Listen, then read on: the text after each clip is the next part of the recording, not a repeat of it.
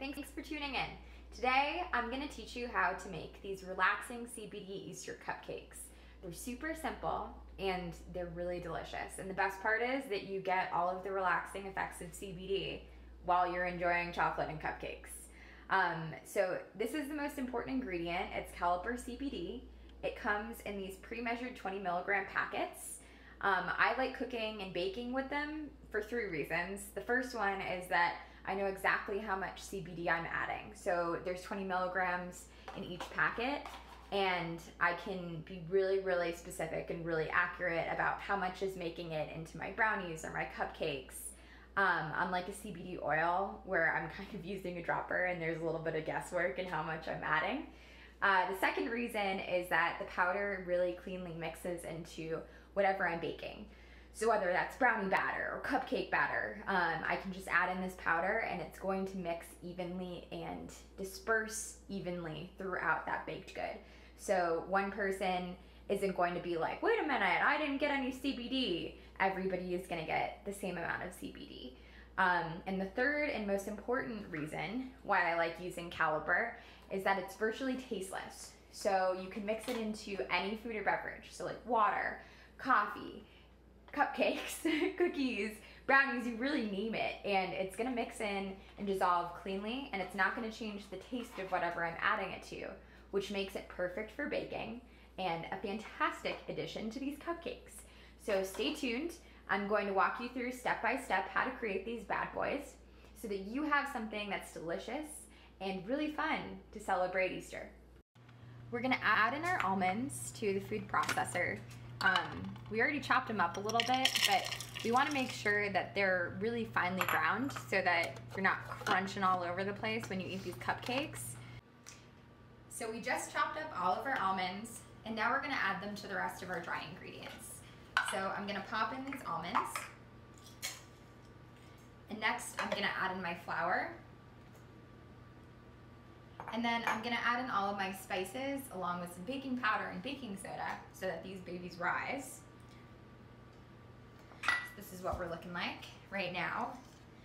And then the last piece of this, debatably the most important, is adding in my Caliper CBD packets. So what I'm gonna do is just cut them open really fast. Um, rather you actually, oh, there's the scissors. Okay, so What's really nice about these is because it's a powder, I can add them to my dry ingredients really easily. And each powder packet has exactly 20 milligrams of CBD in it. I know that I'm making 12 cupcakes. So I'm gonna add in six of these powder packets so that each one of these cupcakes has 10 milligrams of CBD in it. Um, like I said, what's really awesome about them coming pre-measured is I don't have to like think about how many droppers of my CBD oil go in them. And it also is nice because the powder really evenly disperses with the dry ingredients. So it mixes really nicely and really cleanly. So now that all of our dry ingredients are in the bowl, we're just gonna mix, mix, mix. So next, I chopped up one and a half cups of carrots. Um, I personally like using the food processor because it cuts my time in half, quite literally. Um, so I just made these into huge chunks, and now I'm gonna pop them in, just like that, and pulse these guys until they're a little smaller.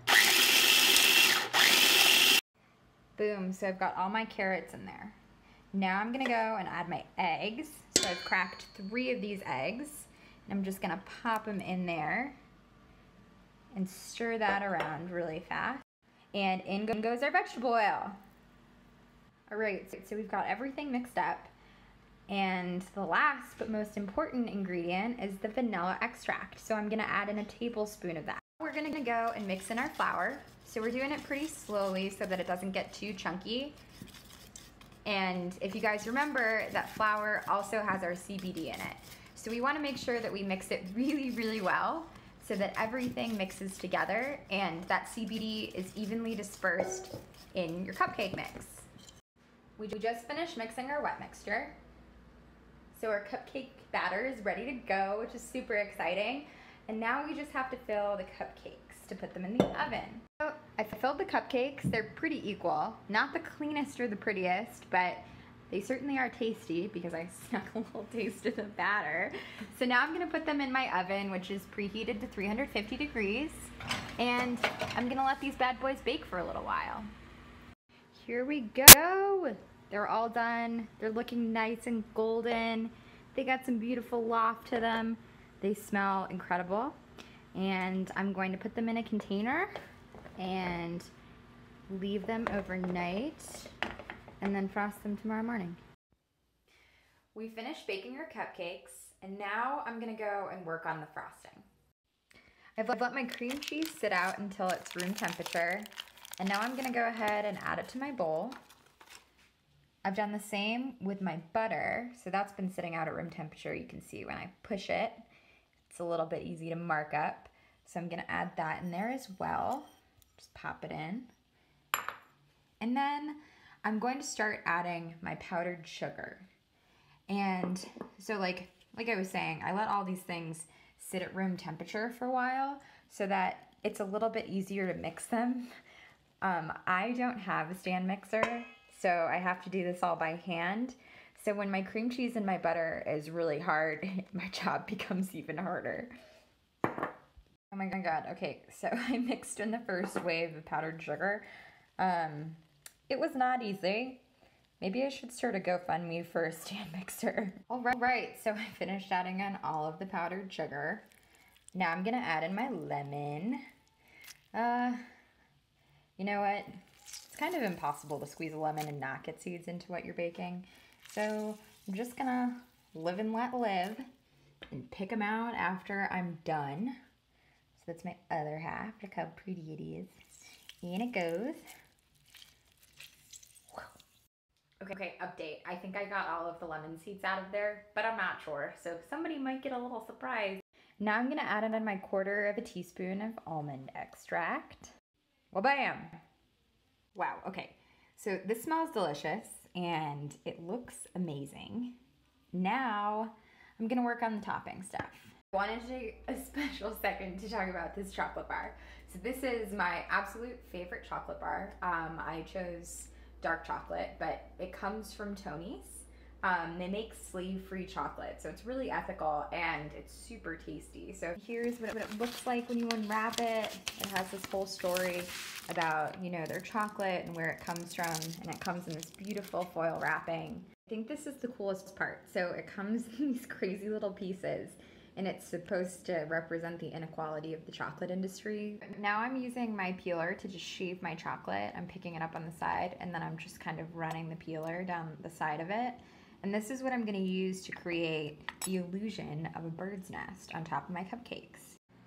So we finished prepping our frosting and putting together all of our supplies to decorate the cupcakes. So now we're gonna put them all together. I'm gonna start by just scooping out some frosting with a butter knife and putting it on top of the cupcake. Um, I personally think it's a little bit easier to start in the middle and really lather it on and then work on spreading it out to the edges of the cupcake. It makes it look a little cleaner too. So you can see I'm just twisting it around and really spreading out that frosting. Um, for all of you that don't have piping tips at home, I personally do not. Um, so this is kind of my secret hack to making it look the best I can. with the supplies I have. Um, next, I'm gonna take some of the shaved chocolate that we made and I'm just gonna sprinkle it around to make a little circle, like a little donut hole almost. Um, and then this is what we're gonna use as the base for our bird's nest. It's okay if it's a little messy. This isn't Martha Stewart. Um, and then I'm gonna take like three of my eggs. I like to choose different colors so that there's a little bit of diversity. And then I'm just gonna pop them on the top of the cupcake. And once you've done that, you have yourself a beautiful Easter CBD cupcake. All right, bottoms up. Mm-hmm. Oh yeah. Those are really good. And the best part is they have 10 milligrams of CBD in them. And I can't taste it at all because I used caliper. It's great. It mixes in flavorlessly. It mixes in entirely. It just lost an egg on the floor. Oops. Um, but really super easy to bake with. And this recipe, 10 out of 10 would make again. Happy Easter.